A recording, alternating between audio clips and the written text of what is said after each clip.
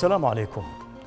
أصول النحو هي أدلة النحو التي تفرعت منها فروعه وفصوله وفائدته التعويل في إثبات الحكم على الحجة والتعليل.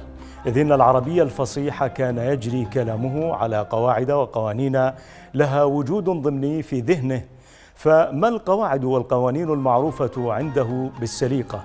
وما الأدلة والوسائل النقلية والعقلية التي استند إليها النحوي في اكتشاف قواعد النحو نحو العربية وإثبات صحتها. سنبحث مشاهدينا كل ذلك في حلقة هذا الأسبوع من لسان العرب بعنوان أصول النحو العربي فكونوا معنا.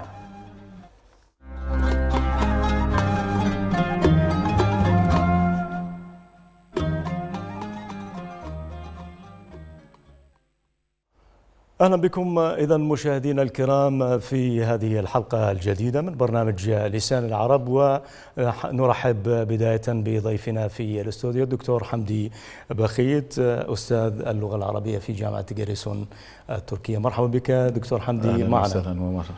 حياك الله.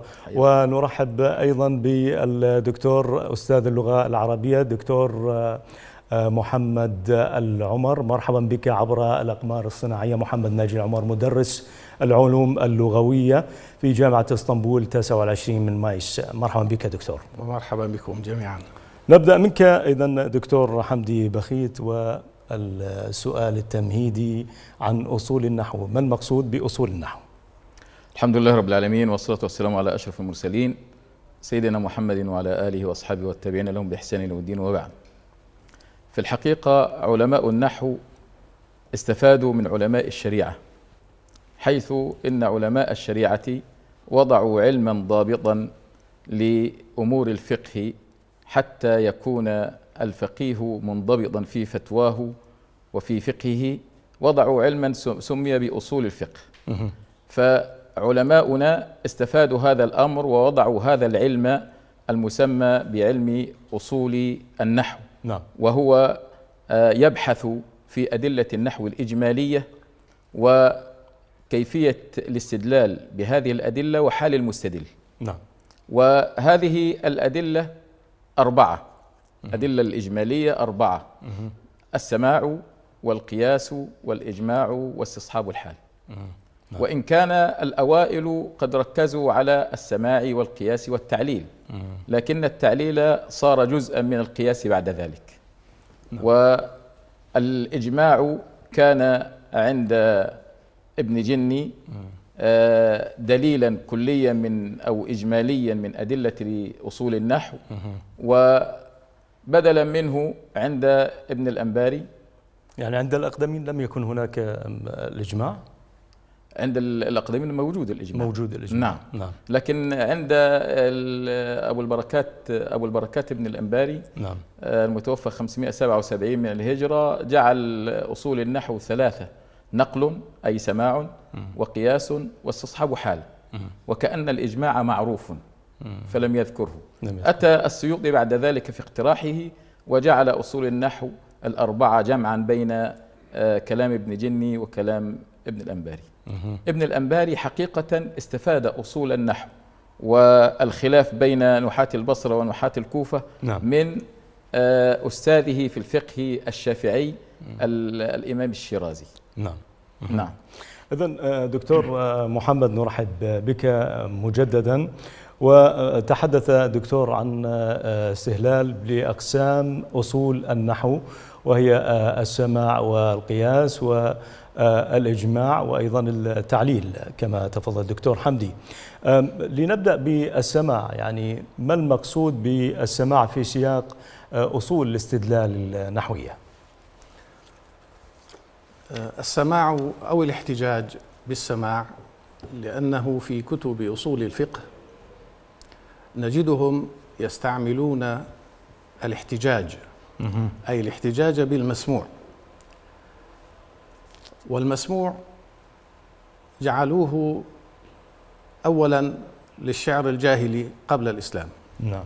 ثم القرآن الكريم ثم الحديث الشريف ثم شعر وكلام ونثر المخضرمين. واستمر هذا المسموع محتجا به حتى منتصف القرن الثاني للهجرة قبله بقليل أو بعده بقليل. نعم. فالذي فالكلام الذي يحتج به هو هذه ما نقل من هذه الأربعة. الشعر ما قبل الإسلام القرآن الكريم الحديث الشريف شعر المخضرمين واستمروا بعده إلى عام 150 للهجرة. ولكنهم فصلوا القبائل التي يحتج بما سمع عنها أي بما نقل عنها نعم. فصلوها عن القبائل المجاورة للأمم الأخرى. يعني المسموع عنهم عفوا دكتور هما قسمان أعراب البادية ولنقل فصحاء الحضر. في قلب الجزيرة العربية الذين نعم. لم يجاوروا الفرس أو الهنود يعني مثلا عبد القيس في البحرين لم يأخذوا لم يجعلوا كلامهم حجة. نعم. آه، من كان مجاورا آه، مثلا للقبط أو حتى لأهل الشام مثل غسان نعم. آه، ما كانوا يقبلون بأن يكون كلامهم حجة على قواعد النحو. وبالتالي أرادوا أن يكون الاحتجاج بما باللغة الأصيلة الفصيحة التي لم تتأثر بلغات أجنبية أخرى. هكذا. نعم. نعم. طيب سأعود إليك أيضا دكتور محمد. إذا آه، يمكن تقسيم كما ذكر الدكتور محمد أيضا يمكن آه، أن نقسم النصوص المذكورة في في ثلاثة أنواع دكتور حمدي هي القرآن الكريم والحديث النبوي الشريف ثم كلام العرب نعم. الفصحاء. طبعا نعم. نثرا كان أم شعرا. نعم. يعني في ما استقر عليه أصول النحو بأن آه، القرآن الكريم بقراءاته المختلفة سواء أكانت متواترة أم شاذة يحتج بها. نعم. آه، إذا كانت القراءة شاذة وأتت على خلاف القياس يحتج بالقراءة في الحرف الذي وردت فيه. نعم. ونسمع كثيرا آه، فصيح استعمالا شاذ قياسا. آه، بالنسبة للحديث النبوي الشريف يحتاج إلى حلقة كاملة وإلى حلقة كاملة. نعم, نعم بشأن ذلك. أما بالنسبة لكلام العرب من الشعر قسموا الشعراء إلى طبقات أربع. طبقة الجاهليين وهذه الطبقة يحتج بجميع شعرائها. قبل ظهور الإسلام. قبل الإسلام. نعم. مثل امرئ القيس والنبي الذبياني وزهير بن أبي سلمى وغير هؤلاء. فحول الشعراء من نعم. أصحاب المعلقات يعني. نعم, نعم. وغيرهم. وطبقة المخضرمين وهم الذين عاشوا فترة في الجاهلية وفترة في الإسلام مثل حسان بن ثابت وعبد الله بن رواحة وكعب بن زهير وغيرهم. وهؤلاء يحتج بكلامهم. يعني المخضرم تعريفه الذي عاش في عصرين؟ في عصرين. في الجاهلية نعم. وفي صدر الإسلام. نعم. هكذا. نعم. آه طبقة الطبقة الثالثة طبقة الإسلاميين. أمثال الجرير والفرزدق والأخضل. شعراء النقائض نعم. هؤلاء معظم العلماء يحتج بشعرهم وخالف في ذلك بعض العلماء. يعني كان أبو عمرو بن العلاء يقول على جرير آه، لقد حسن شعر هذا المولد حتى كدت آمر صبياني برواية شعره. غريب أن يصفه بالمولد. لأن, لأن المعاصرة حجاب في عصره. نعم. فكان يحتج بشعر الجاهليين. لكن الراجح بأنه يحتج بشعر آه، شعراء هذه الطبقة. طبقة المولدين أو المحدثين. الطبقة الرابعة هذه. نعم الطبقة الرابعة نعم. التي تبدأ ببشار بن برد. وهذه الطبقة جمهور العلماء على أنه لا يحتج بشعر شعرائها. وخالف في ذلك الزمخشري في أنه احتج بشعر ببيت لأبي تمام أوس بن حبيب الطائي في تفسيره في سورة البقرة. وقال أجعل ما يرويه بمثابة ما, ما أجعل ما ينظمه بمثابة ما يرويه. لأن آه أبو تمام لأن أبا تمام له ديوان الحماسة. نعم. لكن هذا فيه فرق بين الرواية والدراية. الرواية مبناها على أن ينقل كما قال الذين يحتج بكلامهم. أما الدراية تحتاج إلى معرفة. هل ما ينظمه آه هذا على القواعد التي اتفق عليها أو أنه يخالف فيها؟ هذا رد التفتزاني وغيره على الزمخشري. لكن وجد من اتبع الزمخشري ووجدنا في العصر الحديث مجمع اللغة العربية القاهري آه، يفتح موضوع السماع إلى العصر الحديث. ربما لأن شعر أبي تمام يعد شعرا يعني مطبوعا ليس مصنوعا كما قال بعض النقاد. نعم هو هو قال ليس كالمتنبي يعني نعم من قال أجعل ما ينظمه بمثابة ما ينظمه بمثابة ما يرويه. نعم. أيضا دكتور محمد يعني هذا التقسيم يعني هل هو ثابت تقسيم الطبقات الذي آه، آه، ذكره النقاد وتفضل به قبل قليل دكتور آه، حمدي. ذكرنا أربع طبقات الآن. ثلاث طبقات يحتج بها طبقة الجاهليين وطبقة الإسلاميين وطبقة الأمويين أو المخضرمين. نعم. نعم. فالطبقة الرابعة لا يحتج بشعرها وهي طبقة المولدين أو المحدثين آه، كبشار والمتنبي وأبي تمام. ماذا تقول في في آه، الاحتجاج بالنسبة لطبقات الشعراء؟ هو نعم الإجماع في يعني أكثر ما حصل هو كما ذكر الأخ الفاضل الدكتور حمدي آه، أنه منذ منذ بشار بن برد 167 للهجرة فما بعد لم يحتجوا بكلام الشعراء ولكن بقيت قبائل منعزلة في أعماق الجزيرة العربية ظلوا يحتجون بكلامهم حتى منتصف القرن الرابع للهجرة. وهذا نراه فيما كان يرويه ابن جني عن محادثاته مع بعض الأعراب الذين يأتون من البادية إلى الموصل آه، فيتحرشون بهم ليتكلموا ويسمعوا ويسألونهم. وأما في الحقيقة فقد توقف الاحتجاج ما بعد هذه الطبقات الأربعة التي ذكرها الأخ حمدي. آه، نعم هذا ما استقر عليه الحال. ولكن آه، هناك سؤال قد يتبادر إلى ذهن الجميع إنه لماذا المسموع؟ لماذا الاحتجاج؟ نعم ما الذي دفع إليه ليثبت قاعدة نحوية؟ الذي دفع إليه هو الحرص على ضبط كتاب الله وعلى تفسيره وفهمه والخوف على سلامة اللغة بعد أن تسعت الفتوح واختلط العرب بالعجم وأصبح يعني هناك إمكانية لأن تتغير الألسنة وتضعف اللغة. تفشى اللحن نعم. بسبب هذا يعني سببه تفشي اللحن في أصله. في النثر أيضا دكتور قبل أن نذهب إلى فاصل ذكرنا الاحتجاج بالشعر وبعضهم يعني توقف عند آه، ابن هرمة مع اختلاف الوفاة وعلى الأرجحية 176 كما يذكر الدكتور حمدي وبعضهم قال 150 هجرية. آه، ولكن آه، في النثر هل كما قيل في القرن الرابع الهجري؟ حتى القرن الرابع الهجري الاحتجاج به؟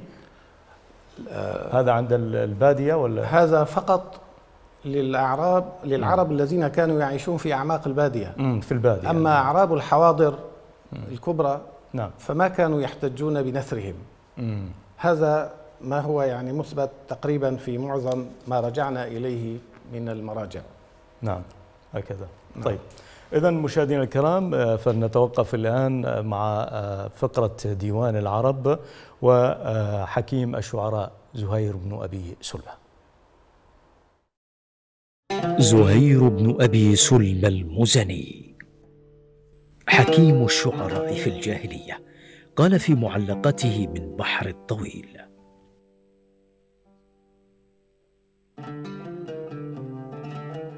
سئمت تكاليف الحياة ومن يعش. ثمانين حولا لا أبا لك يسأمي. وأعلم ما في اليوم والأمس قبله ولكنني عن علم ما في غد عمي. رأيت المنايا خط عشواء من تصب. تمته ومن تخطئ يعمر فيهرمي. ومن يجعل المعروف من دون عرضه يفره ومن لا يتقي الشتم يشتمي. ومن يك ذا فضل فيبخل بفضله. على قومه يستغنى عنه ويذمم. ومن هاب أسباب المنايا ينلنه وإن يرق أسباب السماء بسلم. ومن يجعل المعروف في غير أهله يكن حمده ذما عليه ويندمي ومن لم يذد عن حوضه بسلاحه يهدم ومن لا يظلم الناس يظلم ومن يغترب يحسب عدوا صديقه ومن لم يكرم نفسه لم يكرم ومهما تكن عند امرئ من خليقة وإن خالها تخفى على الناس تعلمي. وكائن ترى من صامت لك معجب زيادته أو نقصه في التكلم. لسان الفتى نصف ونصف فؤاده فلم يبق إلا صورة اللحم والدم. وإن سفاه الشيخ لا حلم بعده وإن الفتى بعد السفاهة يحلم. سألنا فأعطيتم وعدنا فعدتم ومن أكثر التسآل يوما سيحرم.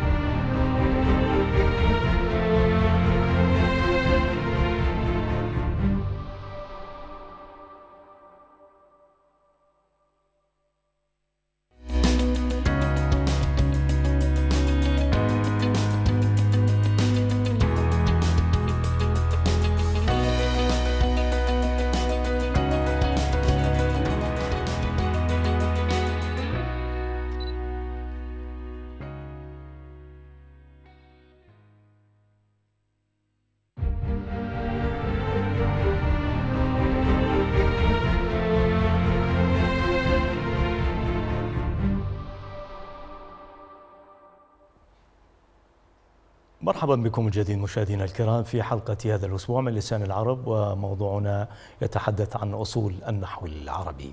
دكتور حمدي بخيت قبل أن ننتقل إلى القسم الثاني وهو القياس ربما لديك تصحيح قد يقع به يعني أغلب حتى طلبة العلم وربما بعض العلماء في جانب بشار بن برد وما ينقل عن سيبوي. ذكر السيوطي في الاقتراح في علم أصول النحو نقلا عن المرزباني بأن سيبويه احتج ببيت لبشار بن برد تفاديا له عن أن يهجوه. وهذا بالبحث في الفهارس التي أعدت لكتاب سيبويه سواء التي أعدها الأستاذ عبد السلام هارون أو الشيخ محمد عبد الخالق عضيمة أو غير هؤلاء لا يوجد. لم يحتج سيبويه على التحقيق لا يوجد.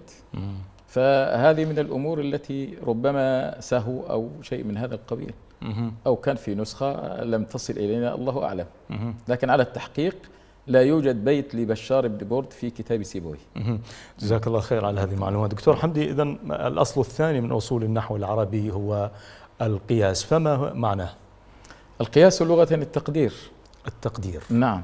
واصطلاحا حمل حمل غير المنقول على المنقول لعلة مع الاشتراك في الحكم. يعني مثلا جاء زيد زيد فاعل. اسم نائب الفاعل يحمل على الفاعل لاشتراكهما في علة الإسناد. وهي يعني علة الإسناد اللي هو تقدمه فعل نعم. تقدمه فعل اسم تقدمه فعل. نعم. نعم. اسم تقدمه فعل فهو مرفوع. الفاعل مم. ما هو إلا اسم مرفوع تقدمه فعل. نعم. آه مع ال ال ال الأمر موضوع أنه هذا مبني للمعلوم أو مبني للمجهول لكن مم. هذا لماذا نائب الفاعل صار مرفوعا؟ مم. لأنه أخذ حكم الفاعل. نعم. نعم. ولذلك الأمور أغلب النحو قياس إنما النحو قياس يتبع. يتبع وبه آه. كل علم ينتفع. ينتفع نعم. نعم. وحتى إنهم عرفوا النحو يعني ابن عصفور يعرف النحو بأنه علم يستخرج بالمقاييس المستنبطة من استقراء كلام العرب الموصلة إلى معرفة أحكام أجزائه.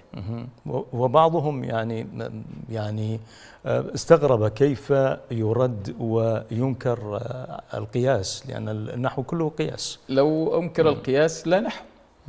أغلب النحو قياس. نعم. لأن آه، كل أغلب الأمور التي نتكلم بها قياس على ما هو ما تكلم به العرب.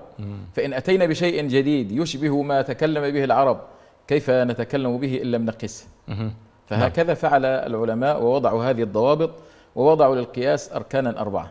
نعم.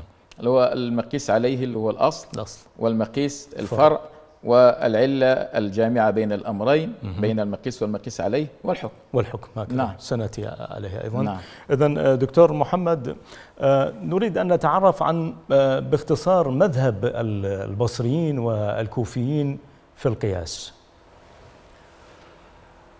البصريون تشددوا في قبول ما يقاس عليه في قبول النص أو المسموع الذي يقاس عليه.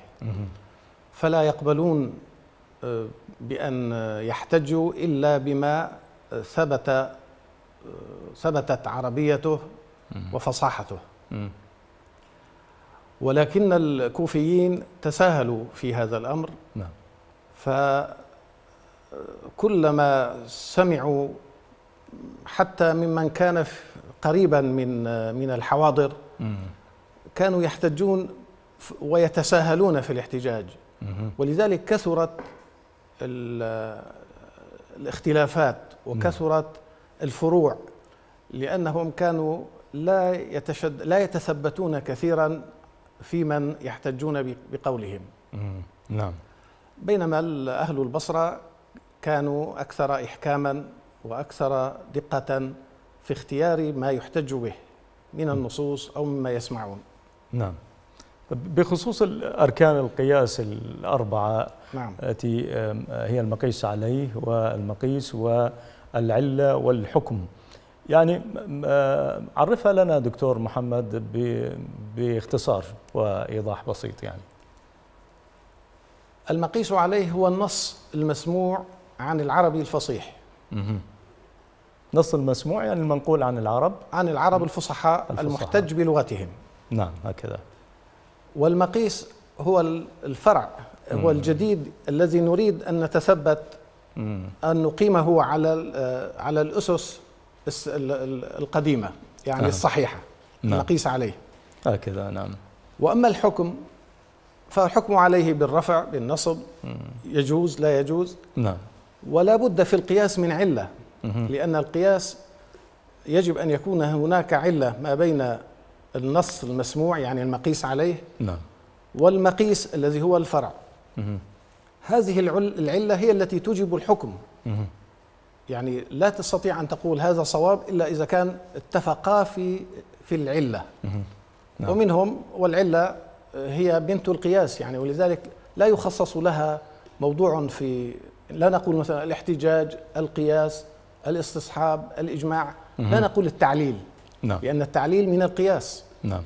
أي نعم. طيب آه، أيضا دكتور حمدي كما ذكر آه، دكتور محمد قبل قليل بأن البصريين يشترطون في يعني القياس الكثرة ال- الفياضة في من في هذا المسموع. يعني يعني لا يأخذون كما يأخذ الكوفيون هكذا.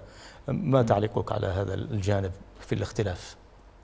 يعني ال- البصريون أرادوا أن يضبطوا القواعد النحوية ضبطا محكما فضيقوا واسعا. آه، الكوفيون آه، أخذوا ب ب- بال- بالكلام ال- بال- بالقبائل التي يحتج بكلامها وبالقبائل التي اح- احتكت بغير العرب. نعم. لكن بعض ال- العلماء يعني يتكلم ويقول إن ال- العلماء جميعا أجمعوا على أن قريشا أفصح. القبائل العربية. وبها نزل القرآن الكريم. والجمع الثالث أغلبه آه، كان على حرف قريش. نعم. وقريش يعني كانت لها آه، رحلة الشتاء والصيف. الصيف وكانت تحت تحتك بالحواضر المختلفة. وقد ورد في القرآن الكريم بعض الكلمات التي آه، نص العلماء على أنها من قبائل مثل لخم وجذام. يعني وردت للخم تقريبا ورد لها موضعان وجذام تقريبا موضع وبعض القبائل وردت آه، في في القرآن الكريم. لكن ربما هذا يرد عليه بأن هذه بأن قريشا كانت في سوق عكاظ يستمعون إلى الأشعار والخطب وكلام العرب فينتقون أفضل ما عندهم. فلعل هذا الذي ورد في القرآن الكريم مما انتخبته قريش وتكلمت به. أيضا يعني مثلا في الآية وأسروا النجوى الذين ظلموا. هذه نعم. لغة سماها ابن مالك أكلوني البراغيث وهي نعم. آه نعم. هذه ذكرت في القرآن. هذا ليس لسان قريش؟ يعني موضوع موضوع قريش الجمع الثالث كان أغلبه بلسان قريش. أغلبه. أغلبه. لكن القبائل الأخرى موجودة. وفيه من قال بأن ما وجد في في المصحف في الجمع الثالث هو على حرف واحد وهو حرف قريش وما وجد من اختلافات هو ما انتقته قريش من القبائل الأخرى. نعم. لكن الرأي الراجح بأنه أغلبه من وما قال به ابن عبد البر أن أغلب الجمع الثالث كان على حرف قريش. نعم. ووجد أكثر من ذلك في موضوع لغة أكلون البراغيث في حتى في القراءات. في القراءات وحتى في والأحاديث والشعر كثيرة ومع ذلك يقولون السمائية عند البصريين. نعم. هي قياسية, قياسية. عند الكوفيين لكن البصريين أوقفوا على السماع أيضا دكتور محمد حدثنا عن مفهوم التعليل أو العلة النحوية. ربما كيف نفسر هذه الظاهرة في النحو وقد ربما كثر الجدال فيها. وما فائدتها؟ فائدتها إثبات الحكم. طيب. لأن عندما نقيس آه، نصا جديدا على نص ثابت أصيل لابد من أن يكون هناك علة نعم. تجعل هذا القياس صحيحا. آه، العلل موضوع طويل وكتبت فيه كتب. نعم. ولكن ما نخلص أو ما يفيدنا فيه أن العلة في أغلبها موجبة. يعني إذا وجدت العلة وجد نعم. الحكم. نعم. وكما يقول يعني صاحب الخصائص ابن جني العلة مبناها على الإيجاب. نعم. يعني إذا وجدت فالحكم واجب. وأقسامها كثيرة لا مجال الآن للخوض فيها لأن فيها كتب لا يتسع لها المقام خاصة الآن. الزجاجي في الإيضاح. في الإيضاح في علل النحو للزجاجي. نعم. وهناك كتب أخرى أيضا. ويقال أيضا دكتور محمد بأن سيبويه قد أشار ربما ولو إلى إشارات في في هذا الجانب في في النحو في في التعليل. لا شك لأن النحو قياس والقياس لابد من علة. فكتاب سيبويه مليء في في هذا الجانب. نعم. ولكن توسع بعد ذلك وخصوصا عند الزجاجي توسعت توسع التعليل والعلة النحوية بشيء أكثر تفصيلا. نعم هذا هو الذي حصل. طيب دكتور حمدي الإجماع من أصول النحو يعني ما المقصود به وكيف نشأ هذا الإجماع؟ نعطي فكرة سريعة عن العلة. عن التعليل تفضل. نعم. يعني التعليل بدأ من يعني بدأ بداية جزئية تعليلات جزئية على يد عبد الله بن أبي إسحاق الحضرمي وبعده آه، أبو عمرو بن العلاء الذي استفاد التعليل من العرب آه، كما يروي ابن جني عن الأصمعي آه، أنه سمع أعرابيا يقول فلان لغوب جاءته كتابي فنعم فاحتقرها. جاءته قال نعم أليس بصحيفة؟ فأخذ يتكلم ابن جني كيف علماء العربية يسمعون أعرابيا جافيا غلفا. هكذا يعلل لما يقول ولا يعللون. يعني بداية التعليل بداية التعليل. بصرية من البصرة. من البصرة نعم. نعم. ثم بدأ الخليل بن أحمد وبدأ يستفيض التعليل والكتاب مليء بالتعليل. لكن هذا النوع من التعليل تعليل تعليمي. تعليل تعليمي. نعم يعني هذا مرفوع. لماذا؟ لأنه فاعل. هذا مرفوع. لماذا؟ لأنه مبتدأ. هكذا التعليلات التعليمية اليسيرة. نعم. لكن المراحل التي أتت العلة القياسية أو علة العلة كما يسميها آه، صاحب أصول النحو ابن السراج آه هذه أتت في القرن بداية القرن الرابع. نعم. نعم. ثم استفاضت ثم رأينا الفريق المضاد لهم ابن مضاء القرطبي ومن نهج نهجه ابن حزم اولا ثم ابن مضاء القرطبي الذين يقولون بالمذهب الظاهري في في الفقه وفي النحو. غريب يعني أنكر. وأبو حيان يقول بقولهم لأنه كان ظاهري المذهب في الأندلس وتشفع عندما ذهب إلى مصر. صار شافعيا. أصول الفقه قريبة من أصول النحو اصول الفقه يعني في نعم. آه نعم في, في أصولها يعني هم كانوا نعم. أصلا علماء نعم موسوعيين نعم. أما بالنسبة للإجماع نعم باختصار آه باختصار هو إجماع آه نحاة البلدين البصرة والكوفة. وهذا ما قاله ابن جني وقاله السيوطي ولعلهم آه يقولون بأن المدارس الأخرى التي أتت بعد ذلك هي أصلا مأخوذة من إما من البصرة أو الكوفة. فلذا قالوا إجماع نحاة أهل البلدين. هكذا. آه، نعم. الإجماع إذا دكتور محمد عمر ربما أول من نبه إلى هذا الإجماع بشيء أكثر تفصيلا وإيضاحا هو ابن جني في كتابه الخصائص وخصص البلدين أي المقصود بهما البصرة والكوفة. نعم. تفضل. ولكن ابن جني صحيح صحيح أنه ذكر أن الإجماع المقصود به إجماع أهل البصرة والكوفة ولكنه آه، لم يجعل هذا الإجماع آه، حجة كما أنه حجة في الفقه. آه، فإن فإنه لا ويقول لم يرد في قرآن ولا سنة أنهم لا يجتمعون على الخطأ. كما نعم. جاء النص بذلك في في كل الأمة. نعم. يعني فيما يتعلق بالاحكام الشرعية آه، وهناك حديث لا تجتمع أمتي على ضلالة. قال إن أهل الكوفة والبصرة لم يرد في قرآن ولا سنة يثبت أن إجماعهم آه، حجة موجبة. أي نعم. نعم. بالنسبة لاستصحاب الحال في أصول النحو لأنه لم يتبقى وقت آه، بهذا الجانب.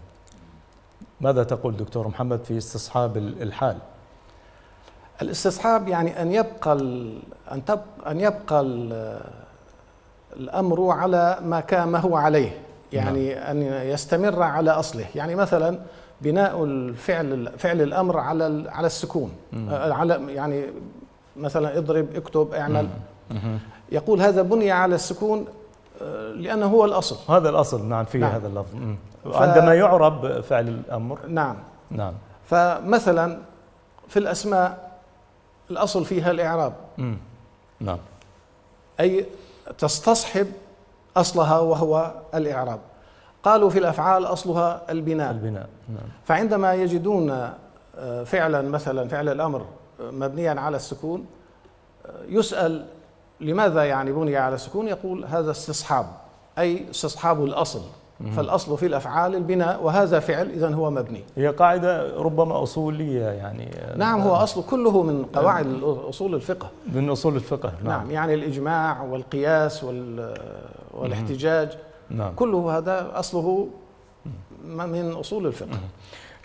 في حقيقة في ختام هذه الفقرة نشكر ضيفنا عبر الأقمار الصناعية من إسطنبول محمد ناجي العمر مدرس العلوم اللغوية في جامعة اسطنبول 29 من مايس. وإن شاء الله ستكون لنا حلقات مقبلة. شكرا جزيلا لك دكتور محمد. وشكرا لكم وجزاكم الله خيرا. حياك الله. سيبقى معنا دكتور حمدي بخيت أما الآن مشاهدينا الكرام فنبقى مع مشهد من المسلسل التعليمي أحلى الكلام وفقرة من الذاكرة عن ابن جني. كان ابن جني إماما في النحو والصرف وفقه اللغة وعلم الصوت والعروض ولم يكن في شيء من علومه أكمل منه في التصريف. فلم يصنف أحد في التصريف أكمل ولا أدق منه. كل هذا والرجل من أصل يوناني. لا تعجب يا حضرة الأستاذ. ابن جني سحرته اللغة العربية مثل ما سحرت العديدين من أبناء الشعوب الأخرى التي أنعم الله عليها بنعمة الإسلام. فبهرتهم بما فيها من دقة وجمال ومنطق وقدرة على التعبير. هل أذكركم بكلمة طريفة للعالم الشهير أبي الريحان البيروني؟ تفضلي. قال أبو الريحان البيروني والله لأن أهجى بالعربية أحب إلي من أن أمدح بالفارسية.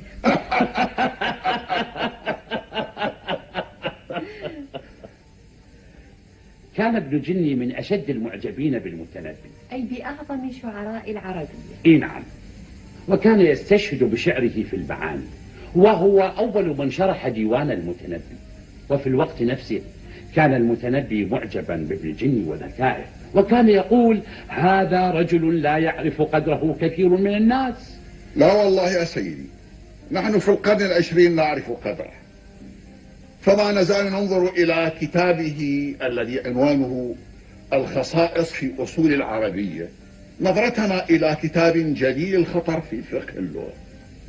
فنحن نعتز بأن إمامنا ابن جني كان قد أورد في ذلك الكتاب قبل حوالي ألف سنة آراء سديدة في فقه اللغة.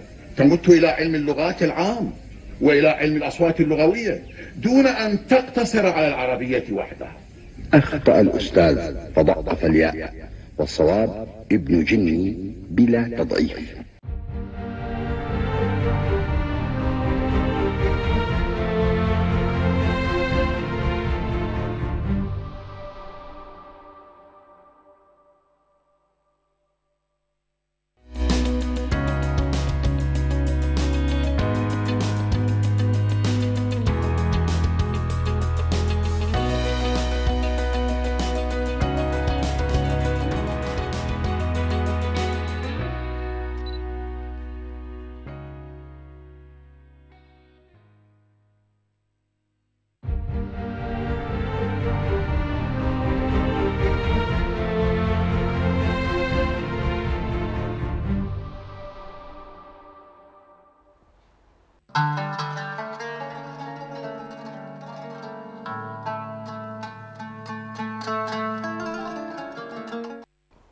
أهلا بكم من جديد مشاهدينا الكرام ونجدد ترحيبنا بدكتور حمدي بخيت أستاذ اللغة العربية في جامعة جاريسون التركية. مرحبا بك من جديد دكتور أهلا حمدي. وسهلا ومرحبا. قد وصلنا إلى آه، فقرة البيان القرآني عنوانها هذا الأسبوع حروف المعاني وأثرها في فهم المعنى القرآني. نعم. آه، دكتور لنبدأ بالتعريف يعني في العربية حروف مبان ومعاني نعم. ما المقصود بهما؟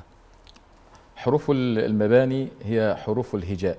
ألف باء تاء ثاء وهي قسمان. حروف معجمة أي حروف منقوطة وحروف مهملة أي حروف غير منقوطة.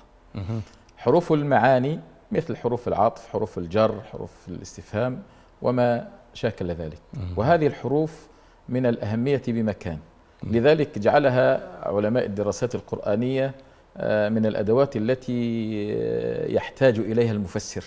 وشرحوها شرحا وافيا يعني سميت بحروف المعاني لأن لها معنى لها دلالي. معنى يعني نعم. غير أن نقول مثلا في حرف جر نعم. ولكن لا تفيد كذا نعم. لها معنى دلالي نعم. هكذا نعم. نعم آه، نحن لا نتكلم عن الإعراب فقط يعني في حرف جر هذا جانب إعرابي لكن ما معناها اللغوي هكذا نعم. آه هو المعنى اللغوي هو المشكلة ولذا آه، علماء أصول الفقه آه، جعلوا لها بابا كبيرا يسمى بحروف المعاني.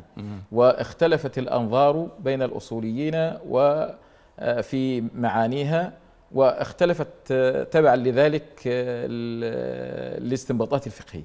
من ذلك آية الوضوء المعروفة يعني سنتحدث هنا دكتور حمدي سنحاول أن نتحدث عن حرف الواو العطف وحرفي الجر نعم. إلى والباء. تمام. نبدأ بآية الوضوء. نعم. قال الله تعالى يا أيها الذين آمنوا إذا قمتم إلى الصلاة فاغسلوا وجوهكم وأيديكم إلى المرافق وامسحوا برؤوسكم وأرجلكم إلى الكعبين. سورة المائدة. سورة المائدة. نعم.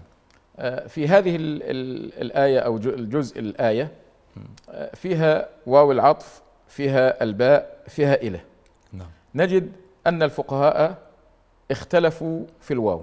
الواو في عند علماء ال- النحو بالنسبة لل- للعطف تعطف آه، مصاحبين فأنجيناه أصحاب السفينة.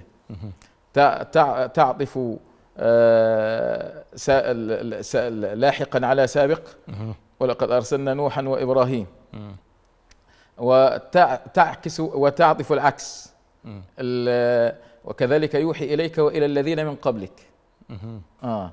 يوحي إليك النبي صلى الله عليه وسلم وإلى الذين وإلى من الذين. من قبلك. بالعكس نعم, نعم العكس يعني, يعني النبي صلى الله عليه وسلم الأصل لاحق لاحق يعني نعم. نعم. فعطف ال- ال- السابق على اللاحق. على اللاحق نعم, نعم ال- العكس. هذا بالنسبة يعني معناها في عند جمهور ال- النحاة والأصوليين بأنها تفيد مطلق الجمع. يعني الأصل جمع الجميع اشتركوا في أمر ما. عندما أقول مثلا جاء زيد وعمر اشتركا في المجيء. سواء جاء زيد أولا أو جاء عمرو أولا أو جاء معا. هذا هو المعنى العام. لكن النحاة منهم من قال بأنها لمطلق الجمع ومنهم من قال بأنها للترتيب ومنهم من قال بأنها للمعية. نأتي للمشكلة في مطلق الجمع والترتيب. طيب. الذين قالوا للترتيب ومن النحاة أغلبهم كوفيون. الذين قالوا للترتيب. نعم. وأخذ بهذا الأمر الشافعية. لذلك الذي مثلا يتوضأ ويغسل يديه إلى المرفقين قبل وجهه يعيد الوضوء مرة أخرى.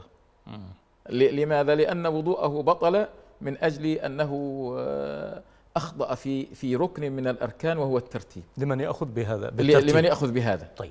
فقالوا بأن الترتيب ركن لأن الواو تفيد الترتيب. نعم. آه، ال- الذين قالوا بأن الواو لمطلق الجمع قالوا الترتيب سنة.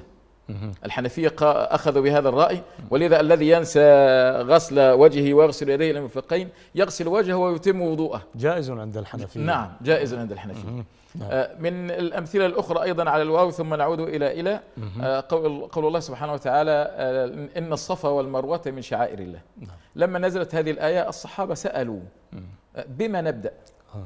فالذين قالوا بأن ال- الواو لل- للترتيب قالوا ال- صفا. الصحابة سألوا فالنبي صلى الله عليه وسلم قالوا ابدأوا بما بدأ الله به. نعم. فقالوا بأن الواو تفيد الترتيب. الذين قالوا لا قالوا لأن الواو حرف مجمل فلذا سألوا. فأجابهم النبي صلى الله عليه وسلم بأنهم يبدأون بما بدأ الله به لأن الشيء الذي يبدأ به له أهمية وله عناية في الذكر. فلهذا تم تم البدء بهذه ال- الأمور. أيضا فيه آية في الواو؟ آه، آه، آية قبل أن نخرج إلى فاصل تفضل. نعم. نعم. في موضوع التسمية على المذبوح. نعم. مم. ولا تأكلوا مما لم يذكر اسم الله عليه وإنه لفسق. هل الواو هنا عاطفة ناحية إعرابية؟ أو استئنافية؟ أو حالية؟ فريق قالوا بأن أي ذبيحة ينسى آه، أو لا يذكر الذابح اسم الله عليها لا يذكر الذابح اسم الله عليها حرام لا تؤكل. نعم. وهنا الواو عاطفة أو استئنافية. آه، الفريق آخر قالوا لا إن تركها ناسيا تؤكل وإن تركها متعمدا لا تؤكل. الجمهور. نعم. ال- ال- ال- الشافعية ومعهم بعض وبعضهم الحنا- الحنابلة قالوا بأن الواو هنا حالية وأن ال ال ال ال وإنه لفسق أي حال كونه فسقا والفسق فسر في آية أخرى آه، بأنه ما يذبح لغير الله عز وجل. تحتمل ربما كل هذه الوجوه يعني في, في النحو نعم. في الأمر في النحو نعم, نعم، لكن في في النحو. النحو. في الأمر الثالث نعم. آه، أرجح من من الرأيين السابقين لأن ال- البسملة أو التسمية في قلب كل مسلم. والمولى عز وجل أباحنا لنا نعم. أكل طعام أهل الكتاب وهم لا يسمون. وطعام صحيح. الذين أوتوا الكتاب حل حل لكم مم. وهم نعم. لا يسمون. مم. وفي بادئ الأمر آه، سئل النبي صلى الله عليه وسلم عليه الصلاة عن والسلام. آه، قوم كانوا يأتون يأتون إليهم بلحم بعض ال- الصحابة ولا يعرفون. قال سموا أنتم وكلوا. فأهم شيء الذي يأكل يسمي ويأكل. إذا سنأتي إلى حرف الجر إلى ثم الباء ولكن فلنتوقف مشاهدينا الكرام الآن مع فقرة صحيح القول. خفف ولا تشدد. يقول بعضهم أكفاء جمعا لكف والصحيح أكفاء بتخفيف الفاء لا بتجديدها. فهم يخلطون بين كفيف الذي يجمع على أكفاء وكفء الذي يجمع على أكفاء. ويقولون في جمع وفاة وفيات بكسر الفاء وتجديد الياء والصحيح وفيات بفتح الفاء وتخفيف الياء لا تجديدها كجمع فتاة على فتيات. أما وفيات بالتجديد فهي جمع لوفية نسبة إلى الوفاء ويقولون صمام الأمن أو الأمان بفتح الصاد وتجديد الميم وهذا خطأ. والصحيح صمام بكسر الصاد وتخفيف الميم. ويقولون توجد بعض الهنات بتجديد النون أو الهنات بكسر الهاء وهو خطأ. والصحيح الهنات بفتح الهاء وبتخفيف النون لا بتجديدها. والهنات جمع الهنا وتعني الخطأ اليسير.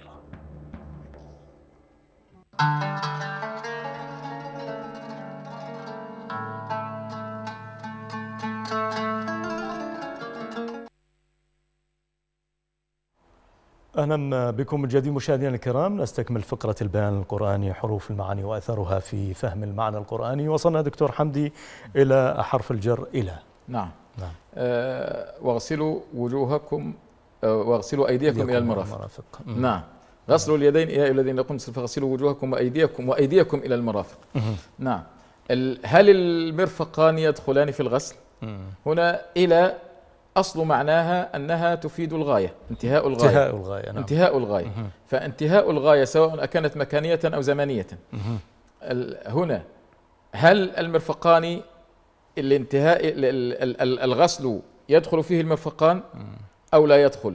فيه من قال لانتهاء الغاية وهذا هو الرأي ال- الراجح. وفيه من قال بأن إلى بمعنى مع. نعم. فالذين قالوا بأن إلى بمعنى مع قالوا بأن غسل المرفقين واجب. والذين قالوا بأنها لانتهاء الغاية قالوا بأن غسل المرفقين ليس واجبا وإنما هو سنة. وأخذوا هذا الأمر من فعل النبي صلى الله عليه وسلم. نعم. نعم. ال ال الأمر ال- الجماعة قالوا لا ننظر إلى ما بعد إلى ما بعد إلى إن كان من جنس ما قبلها. يعني إذا كان المغيى من جنس إن كان الغاية من جنس المغيى تدخل في الحكم وإن لم تكن من جنسها لا تدخل. يعني واتم الصيام إلى الليل. الليل ليس من جنس النهار فلذا لا يدخل في الحكم. لا يدخل. أما المرفقان فهما من جنس. منهم من قال بأن إلى ليست لل- للإدخال وإنما للإخراج لأن اليد من أول الأصابع إلى المنكب.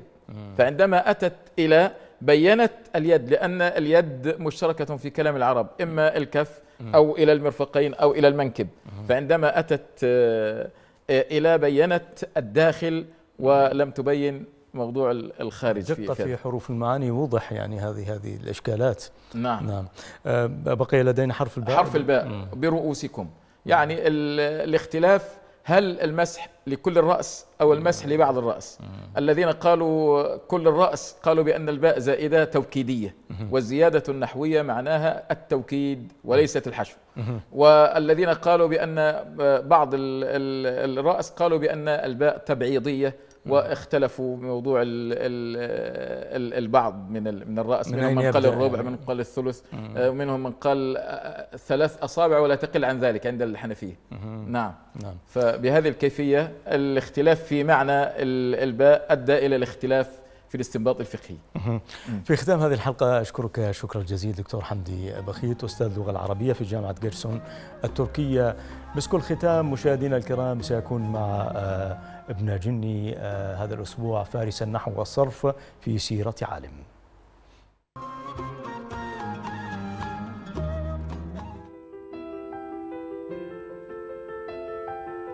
هو أبو الفتح عثمان بن جن الموصلي من أصل رومي ولد في الموصل سنة 22 و300 من الهجرة وقام بعد الموصل ببغداد.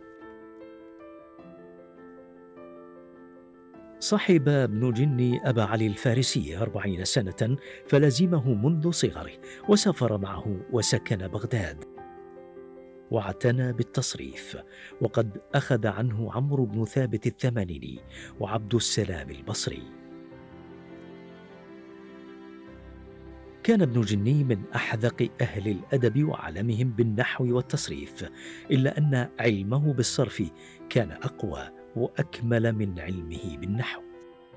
قال له أبو علي الفارسي زببت وأنت حصرم فلزم شيخه أربعين سنة وقد اعتنى بالتصريف ولما مات شيخه أبو علي تصدر ابن جني مكانه ببغداد. نعته الثعالبي في يتيمة الدهر بقوله. إليه انتهت الرياسة في الأدب. وقد صحب أبا الطيب المتنبي دهرا طويلا وقرأ عليه ديوانه ثم شرحه. ما إن يذكر ابن جني حتى يذكر كتابه الشهير الخصائص. وهو كتاب في أصول النحو يبحث في خصائص اللغة العربية. وتهتم أغلب مباحثه بما يخص فلسفة تلك اللغة ومشكلاتها. وفي خلافة القادر توفي ابن جني في بغداد وهو في السبعين من عمره سنة اثنتين وتسعين وثلاثمائة من الهجرة.